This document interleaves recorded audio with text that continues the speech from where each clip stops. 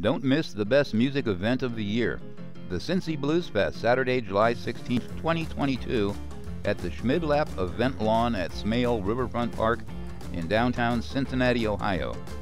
Featuring Blues Music Award nominee Toronzo Cannon, one of the most electrifying bluesmen to emerge from Chicago in decades.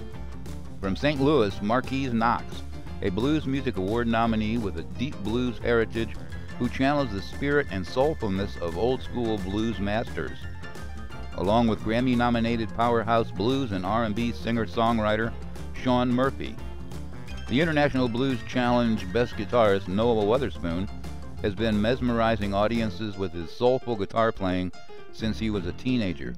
He'll be making a special appearance with his horn band.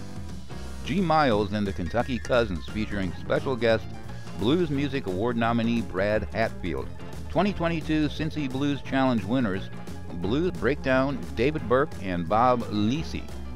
Along with the Blues in the Schools Band, that's the Cincy Blues Fest, Saturday, July 16, 2022, at Schmidlapp Event Lawn next to the Moerlein Lager House in downtown Cincinnati, Ohio. Tickets on sale now. For more information, visit cincybluesfest.org.